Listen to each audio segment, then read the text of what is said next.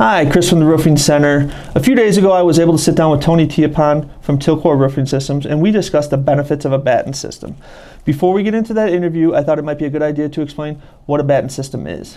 So, a batten system is basically generally a wood lattice system that's installed over the roof deck or existing roofing materials. The new roofing materials are installed on top of the lattice system, elevating the product and allowing for uh, airspace between the deck and the new roofing product. Now that you know what a batten system is, let's hear how it can benefit you. Hope you enjoy the interview.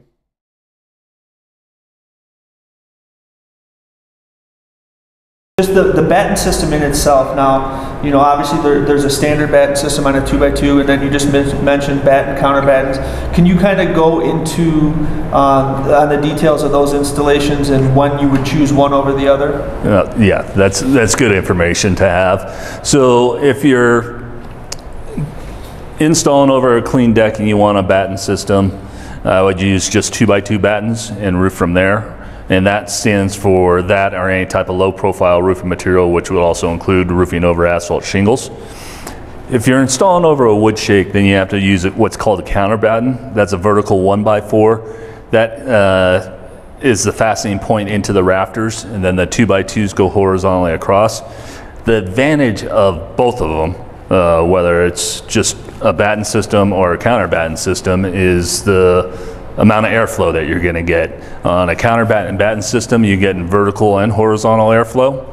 Uh, on a batten system, you're getting just the horizontal airflow, and then on directed deck, you get horizontal airflow. But the important thing to keep in mind is that all of our panels are watertight but not airtight. So air is moving through the seams and everywhere on, on it. So a good example is driving on a hot day down the road and cracking your windows. That's essentially giving your above sheathing ventilation in your car. That's a way for air to move and get, let the hot air out. Sure, no, that makes a lot of sense. Um, and that brings me to another another benefit. One of the things that I think is not talked about enough when it comes to roofing products and specifically stone coated is the energy efficiency benefits of stone coated. Now, obviously, above sheathing ventilation is going to add to that. Um, can you touch on that a little bit and maybe give some examples? I know in my experience, we've had just from doing overlays, the putting um, uh, a CF shingle directed deck on an overlay on an asphalt shingle, customers are seeing 15, 20 degrees difference in their attic temperatures.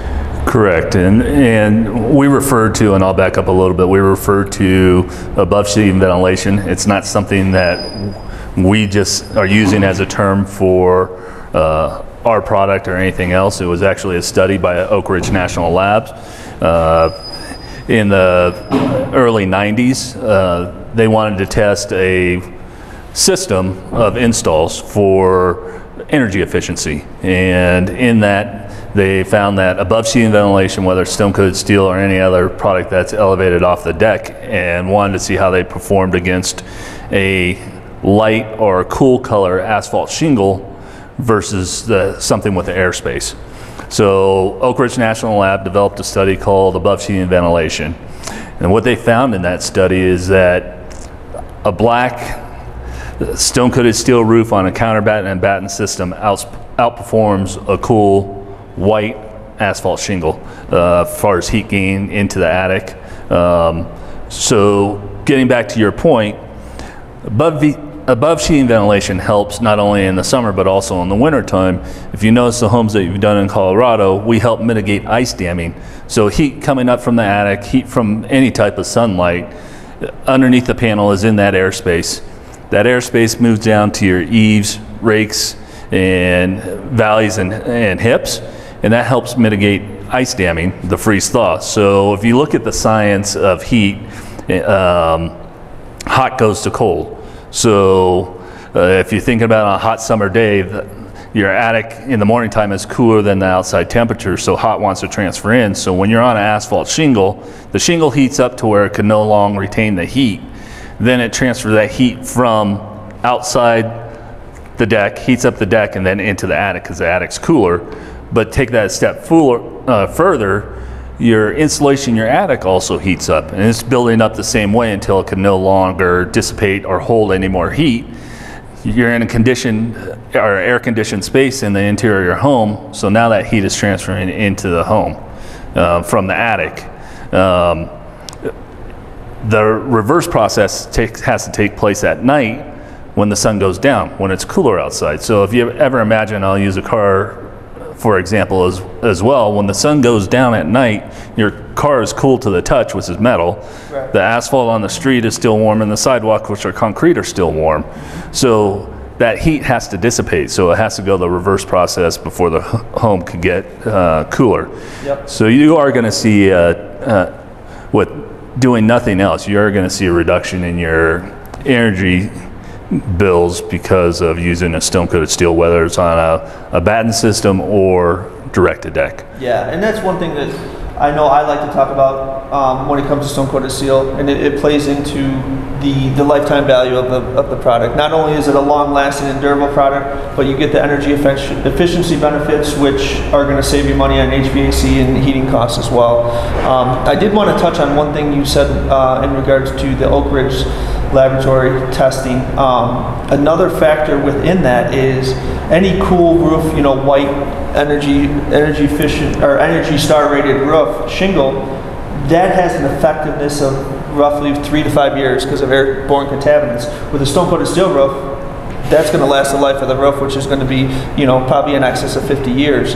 And that's another huge benefit that I don't think gets talked about enough. That, that's correct. Um, so, you know, you figure three to five years where the airspace in a stone coated steel is for the life of the product. It never goes away. So your savings is forever on that product. Um, but one of the th- other things that we probably want to mention that uh, when you're re-roofing, you have the ability to add insulation. We could add with a batten system or even a directed deck system, you could add insulation on top of the roof deck, which is going to put your R value on the most critical part of the home, which is on top of your roof. If you think about, you know, vertical windows, everyone's gone to either vinyl or wood. The airspace, you're using dual pane windows with low E, so you're getting some reflectivity and emissivity out of that. You could do the same thing with your roof, which is a much bigger surface than your windows or doors would ever cover. Absolutely. So why not take advantage at the time that you're doing a re-roof? It's something that's added.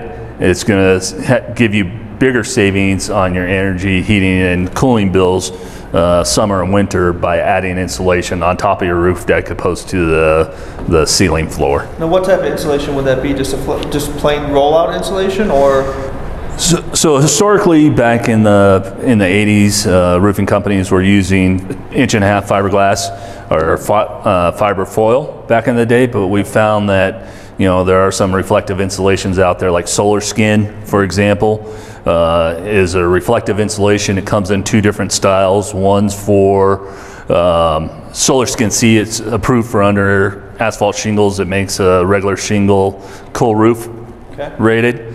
Um, and then the other one that I'm excited about is one that's a synthetic underlayment, has fiberglass mat and a high reflective foil on top. So it's your water barrier as well as your insulating and reflect radiant barrier. Um, and that has a R value of 5.5 tested under the Tilcor roof system.